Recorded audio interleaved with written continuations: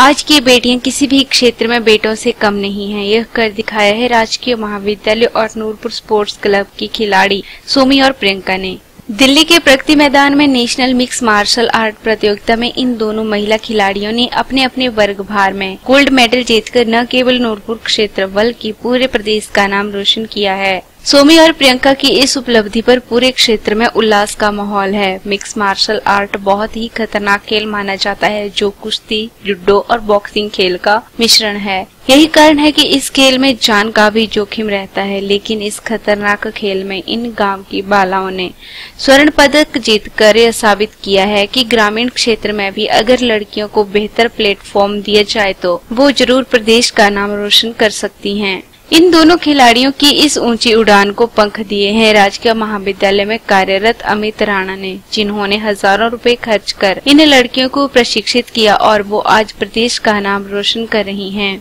अमित राणा के पास लगभग 40 छात्र छात्राएँ प्रशिक्षण लेते हैं और वो निशुल्क इन बच्चों को प्रशिक्षण कर उन्हें आत्मरक्षा के गुर सिखा रहे हैं कोच अमित राणा ने इन दोनों छात्राओं की जीत पर खुशी ज़ाहिर करते हुए कहा कि जिस प्रकार से इन दोनों खिलाड़ियों ने पसीना बहा बढ़ाया था, उससे इनकी जीत सुनिश्चित थी। राष्ट्रीय स्तर पर गोल्ड मेडल जीतने के बाद अब इनका अगला लक्ष्य वर्ल्ड क्वालिफायर के लिए तैयारी करना है। उन्होंने कहा कि उनकी एक खिलाड़ी सोमी इंटरनेशनल स्तर पर भी बेहतर प्रदर्शन करेगी। ऐसे में उम्मीद की जा सकती है कि जिस प्रकार इन दोनों खिलाड़ियों ने प्रदेश का नाम रोशन किया है, उसके बाद वो देश का नाम भी ज़रूर रोशन करेंगी।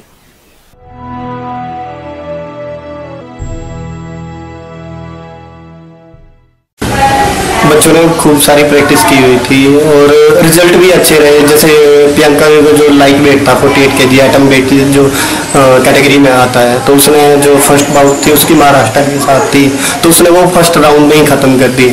सेकंड जो उसकी बाउट थी वो हरियाणा के साथ थी तो वो वहाँ पे उसने तीन राउंड खेले, पूरे तीसरे राउंड में जाके वो जी, जीती।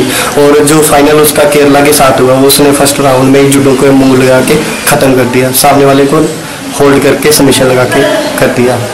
आगे वर्ल्ड क्वालिफायर है, उसमें तैयारियाँ कर रहे हैं और सोमी जो है, वो आगे तक जाएगी। उसकी जो, जिस हिसाब से स्टैमिना और जिस हिसाब से उसने वहाँ पे टूर्नामेंट में प्रदर्शन किया, हर कोई उसका फ़ैन बन गया था।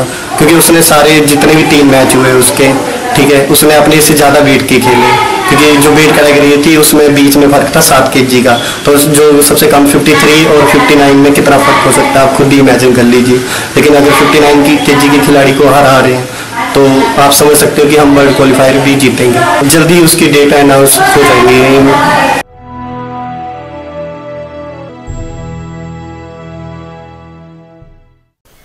पीआर टीवी के लिए नूरपुर से भूषण शर्मा की रिपोर्ट।